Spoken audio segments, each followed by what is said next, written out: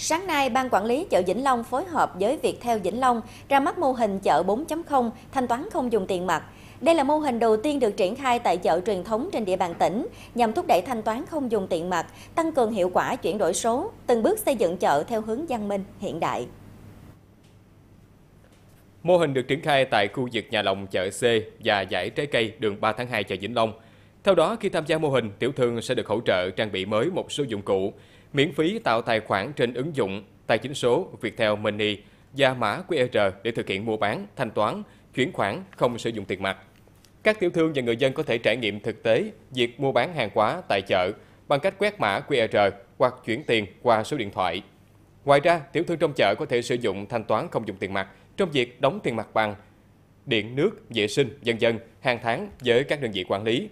Về phía người tiêu dùng có thể đi chợ mua bán hàng hóa mà không dùng tiền mặt, vừa tiện lợi vừa đảm bảo an toàn với phương thức thanh toán hiện đại, kích thích hoạt động mua sắm trong thời gian tới.